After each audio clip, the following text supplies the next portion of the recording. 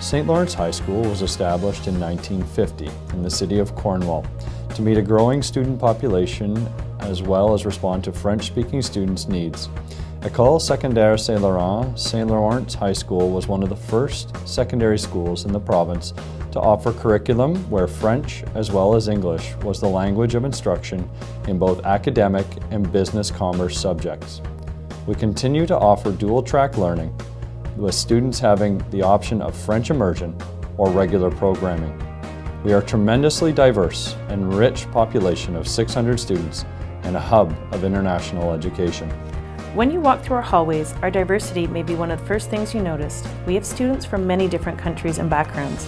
As one student said, it's pretty hard not to fit in at St. Lawrence. There's a place for everybody. St. Lawrence has been renovated and changed many times since the original build, but it continues to foster an environment of academic excellence and maintains the strong school spirit and valuable traditions established by the original school in 1950 we look forward to what the future will bring as we continue to prepare our students for a successful life.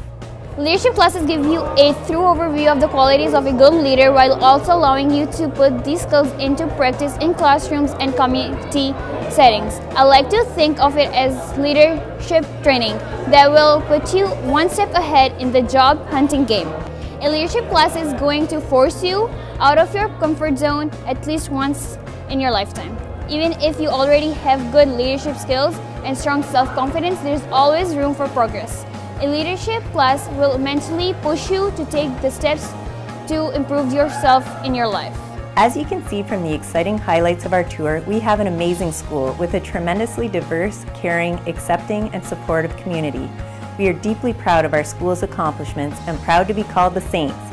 Hope to see you soon here at St. Lawrence Secondary School.